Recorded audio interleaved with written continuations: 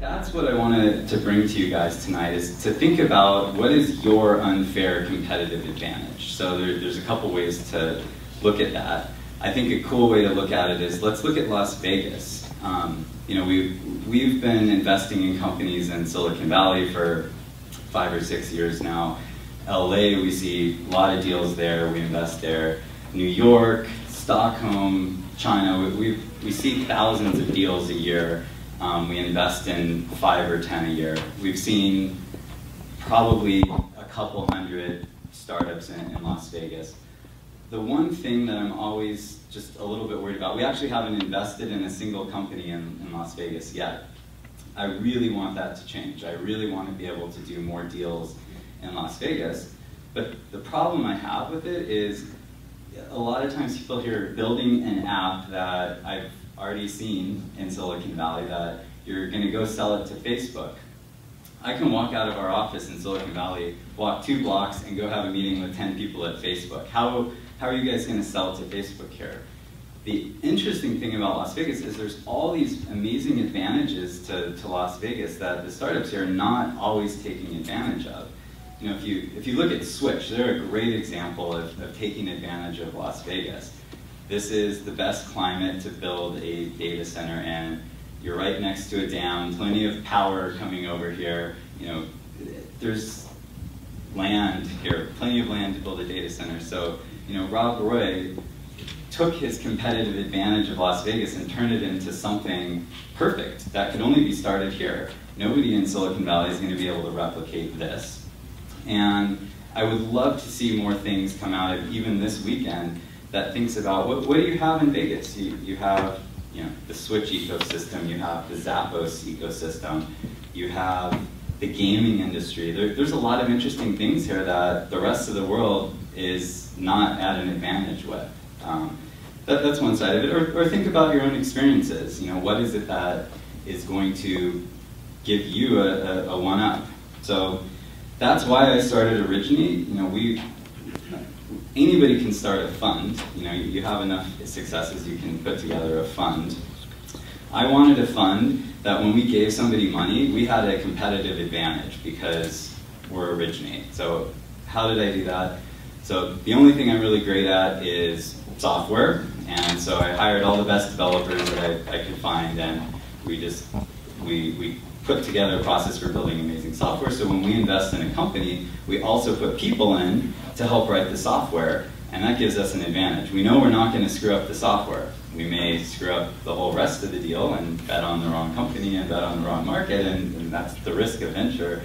But we have a little bit of an advantage there. So, so that's kind of the challenge I want to give you guys, and, and um, think, think through that. And with that, I will reveal the list that the, uh, that the investment team put right on the top of this, internal purposes only.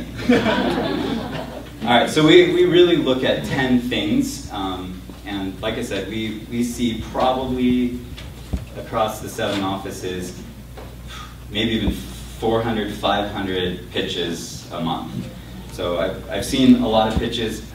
You, you get more and more skeptical of pitches, so you, you have to have a, a, good mindset here. So I, I've pushed myself back into enjoying listening to pitches again. So, but I especially enjoy pitches that cover these things well. So the, uh, the first one is, and any business plan, any pitch deck we take, we put it into this format. So everything we look at as a company, as a fund, is, is the same. The first point is what is your purpose?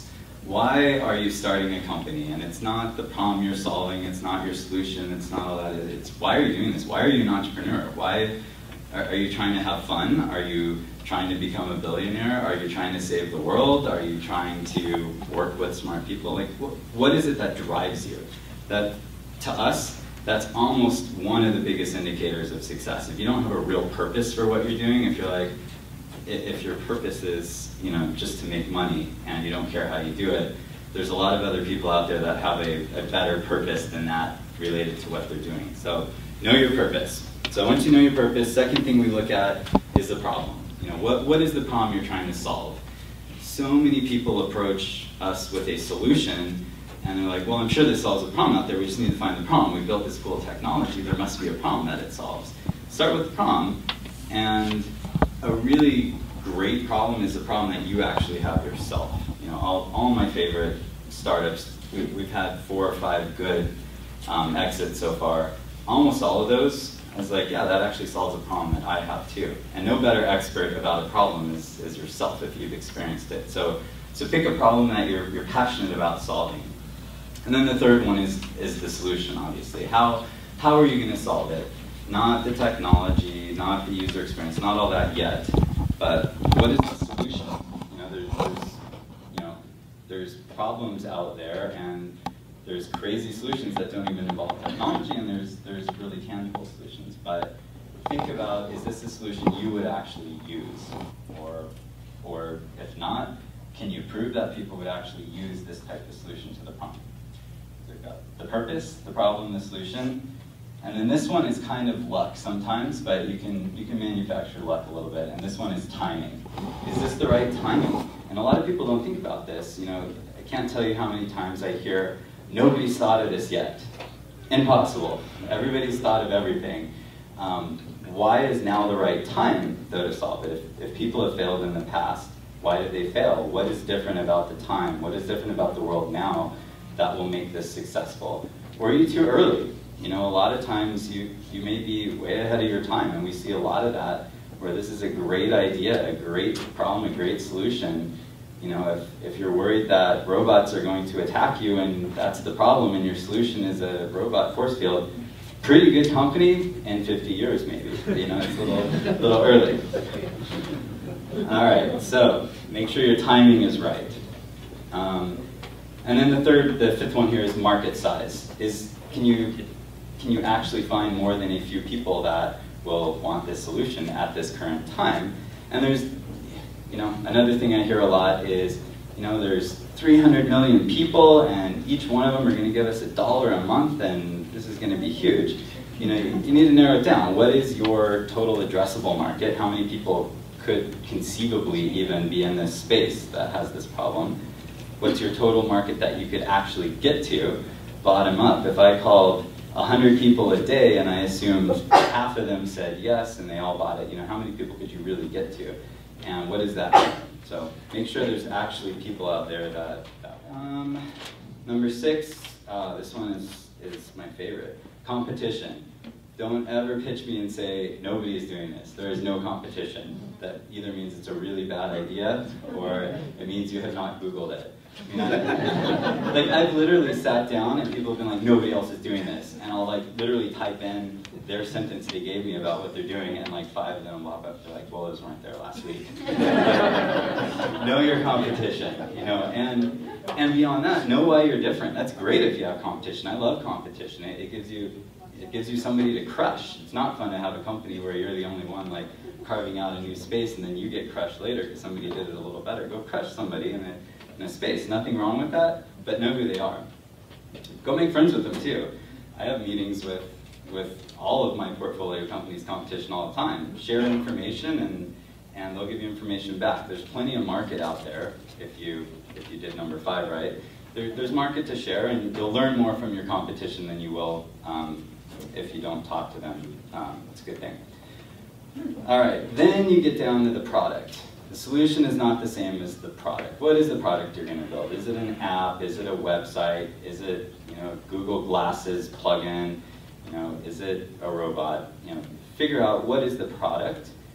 And everybody talks about MVP, and, and I don't know, the startup we can still focus around the MVP. I personally hate the word MVP. I, I don't know what it means anymore. You know, we have people coming in saying, okay, we need to raise $5 million so we can get to an MVP minimal viable product. Minimal viable product, that doesn't make sense. So we've, we've switched over to think about problem solving products. Pick the top thing on your list of your problem that you made and pick the easiest solution to it and build that first. Just find a product that solves one problem well and a full product and see what happens. See if you can sell it, see if people use it, see if it actually is a viable business. And to me, that, that's an easier first step. Doesn't mean you have to put it out to the world and, and this is your company, but it, it means it's something you can go out and actually test on a certain amount of people. So figure out your product. Um, and then once you have that, it's the business model. This is my least favorite part of it. I didn't get an MBA. Um, my partners have their MBAs. We have a lot of people at, on the investment team I stole this from with their MBAs. It's great. Listen, listen to everybody with their MBA, learn from them. If you spend all your time writing a business model instead of code, I probably won't, won't respect you as much. Go, go write some code and prove that it actually works. But think about your pricing. Think about how you're going to sell it. Think about if you're going to be able to make money. You know, the first thing my partner Jeff will ask you, how are you going to make money? And the world is shifting. We're in a bubble, especially in Silicon Valley. We, we hear things like, oh, don't worry about the revenue model, just go get users. I've heard these things before. I heard these things in 99 and 2000, and we know where that, that led. So figure out how you're going to make money. If you're making money, you're always a business, regardless if you're in a bubble. All right, number nine is the team. Once you figure out what you want to do, the team is really, really important. I mean, I would argue your team that you start a business with or run a business with is more important than who you marry, more important than your best friend. This is, this is really important. If you're a true entrepreneur, this is your real marriage here. This is your, your business partner. It's really bad if, if you guys break up. That, that will destroy not only your business, but everybody's lives that you hired not just your kids. So this is a big trickle down here. So, so take this part seriously. Find a team that you want to spend a lot of time with. See what they're like when they're really happy. See what they're like when you push them the wrong way. You know, the, I'll, I'll tell you, the company that I, I started and, and, sold in 2006, um, one of my best friends was, was one of my co-founders there, and it literally ripped us a, apart for a long period of time um, not because things were going bad, but because things were going really well. It's interesting to see how people change when there's millions of dollars on the table um, and, and you have to make some tough decisions there. So, so get to know your team well, make sure that you fill all the gaps of the things you need to do. You can only, only outsource so much, but um, that, that's important.